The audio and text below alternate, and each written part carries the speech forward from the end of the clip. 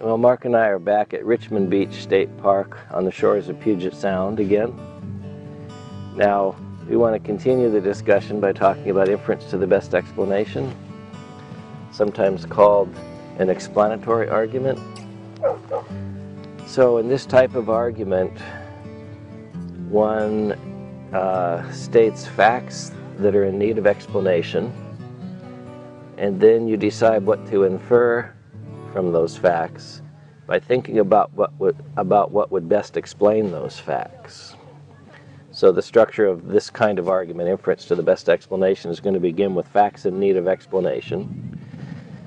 It's then going to look at possible explanations of the mm-hmm. facts. And since time is limited, we usually only look at the plausible explanations. That would be explanations that are possible relative to our background knowledge, general knowledge of the world, independent of the facts under consideration. And we decide what to infer, what to conclude by thinking about what would best explain the facts. And there are criteria for what makes one explanation better than another, independent criteria, which we'll discuss. So we start with a common sense example of this type of reasoning, which is employed all the time. We use this type of, type of reasoning in everyday life all the time. So let's suppose that that um, we are in a, a fraternity house with a lot of different people living there, and we come home and the meatloaf, the leftover meatloaf, is gone. Tragedy strikes.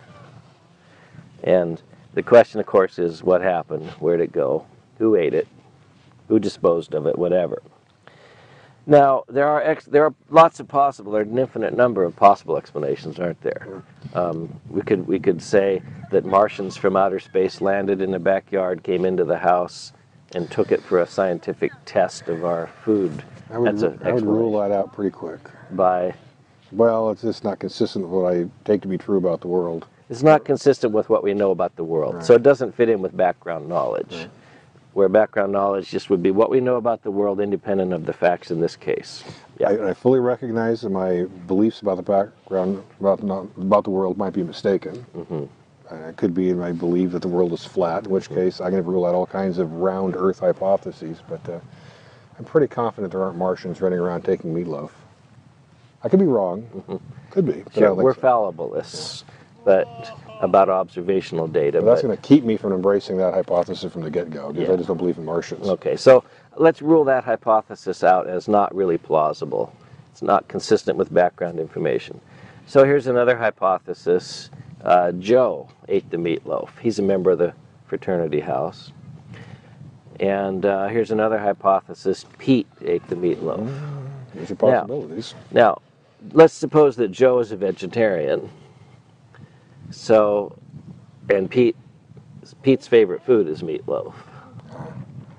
And then another hypothesis is going to be the cat ate the meatloaf. More likely than Martians, but okay, okay. But the problem is we locked the meatloaf up in the fridge Yeah. when we left. So now, which hypothesis best explains the facts in need of explanation? Well, there's, there's problems with at least a couple of them. You got the, the vegetarian Joe, you got the carnivore, or at least the omnivore Pete, and the cat. Uh, it goes against my knowledge about cats' ability to open up refrigerators to really take the cat hypothesis too seriously. Okay, it's so it's not logically plausible. possible. It's not plausible. Humans get into refrigerators much more readily than people. Uh, but there's an internal inconsistency with vegetarians eating meatloaf, particularly Joe, who apparently is quite a strong Let's say he's very religious about it. Oh, yeah, I've seen him carrying the signs around. So, I mean, that would be, it's possible he might have done. He might have taken the meatloaf and just thrown it away as an act of civil disobedience to the household, I suppose.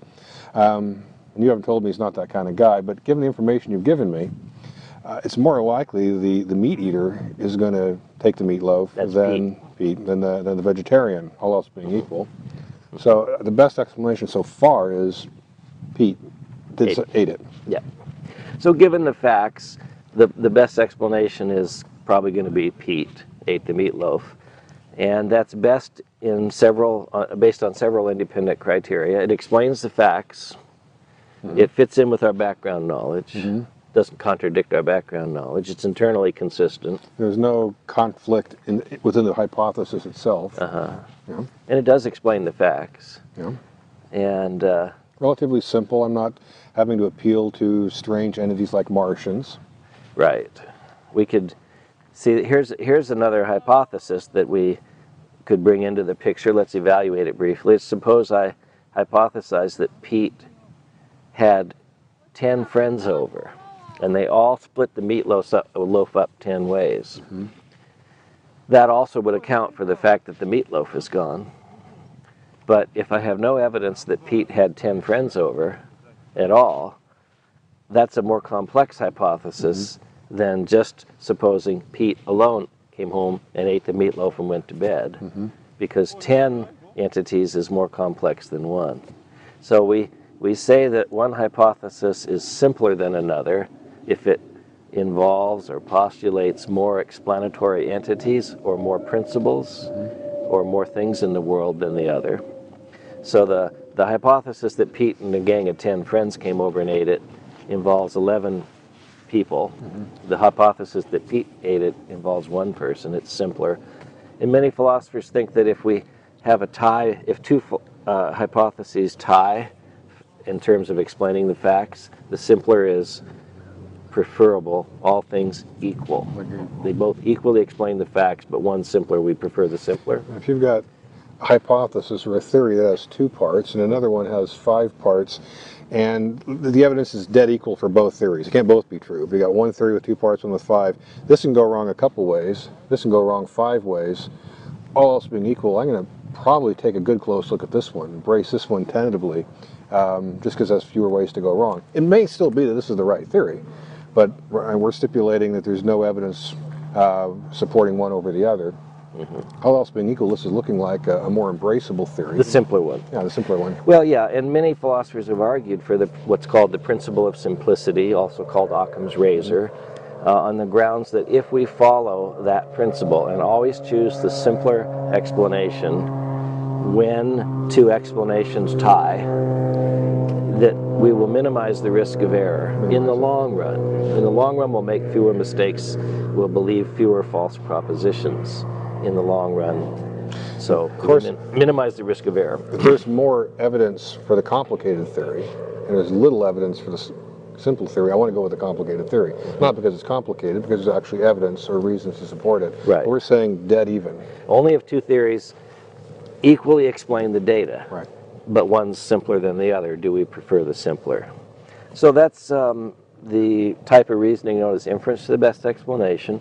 We infer that something is the case on the grounds that it's the best explanation of certain facts in need of explaining. And we evaluate explanations and choose one as the best on the basis of criteria that we weigh the hypotheses against, independent criteria. So we uh, one hypothesis is better than another if it explains the facts better, if it explains more of the fact, if it's if it's more consistent with background information, if it's more plausible, if it's internally consistent and the other one isn't. We also tend to favor explanations if they um, make predictions that we can test, if they're more fruitful. That is to say, they lead, they open up ideas for future research. It's probably why some, like theological explanations, though they may or may not be true, that's not my point here. But if I was to say uh, such and such happened and it's because God willed it, uh, philosophically or scientifically, it may very well be true that God willed this action to take place. Maybe God exists and wanted this to take place. But it's tough to test it. And It's tough to be able to come up with some way of determining whether that actually was caused by God or not. And it just can be frustrating because you can't do much with it. It might be true, uh, but I think that might be explains why so many scientists tend to look for non-theological um, explanations, because that's what science does: is look for things that can actually be tested. And it, may they may be misguided. It could be maybe they'll be looking going for blind alley because maybe if God exists, He actually could have done this thing.